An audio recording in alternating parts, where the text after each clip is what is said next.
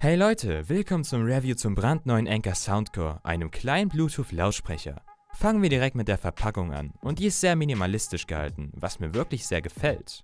Sie ist komplett in schwarz, gut verarbeitet und beinhaltet ein paar kleine Gimmicks.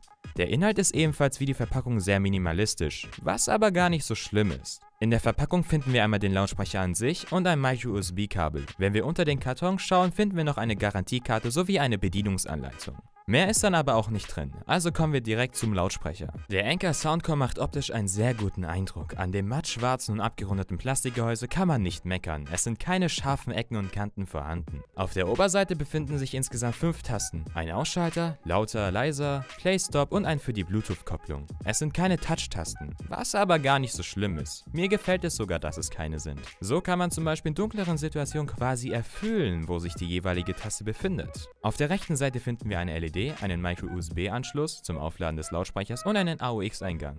Ein AUX-Kabel ist leider nicht im Lieferumfang enthalten. Warum habe ich gerade AUX und AUX gesagt? Egal. Außerdem haben wir noch ein Mikrofon, womit man zum Beispiel auch Anrufe tätigen kann. Und das klingt auch recht in Ordnung. Kommen wir noch kurz zu ein paar Fakten. Der Anker Soundcore wiegt knapp 365 Gramm und soll eine Akkulaufzeit von bis zu 24 Stunden haben. Das ist echt einfach krass.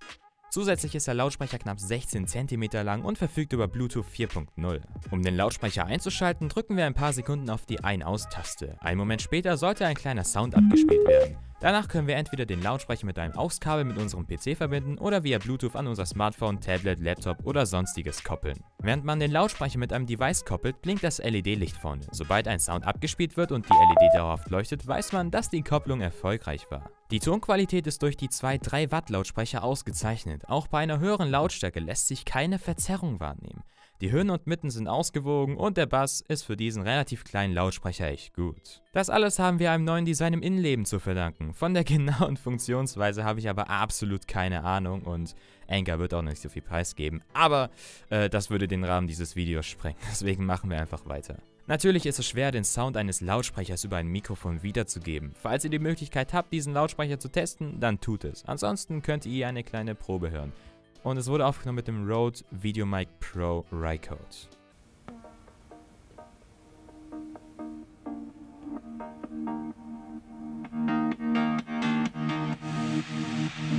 Sleep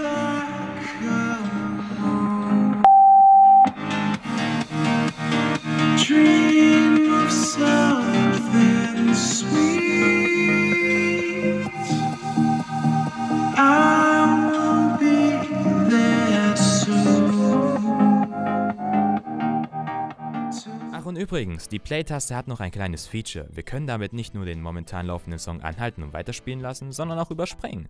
Einfach in kurzen Abständen doppelt draufdrücken und schon wechselt es zum nächsten Song. Was auch bei YouTube-Playlists funktioniert, was ich total cool finde.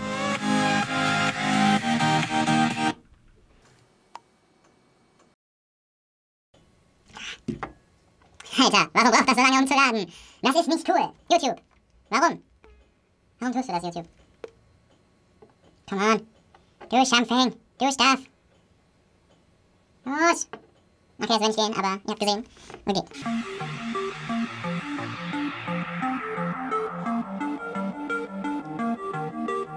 Anker verspricht eine Reichweite von ca. 10 Metern. Inwiefern das wirklich stimmt, kann ich euch nicht sagen. Aber ich selber stehe nie mehr als 5 Meter weg von meinen Lautsprechern, weswegen ich das völlig ausreichend finde. Und das war es, mein Review zum Anker Soundcore. Wie ist eure Meinung zu dem Teil? Lasst es mich unten in den Kommentaren wissen.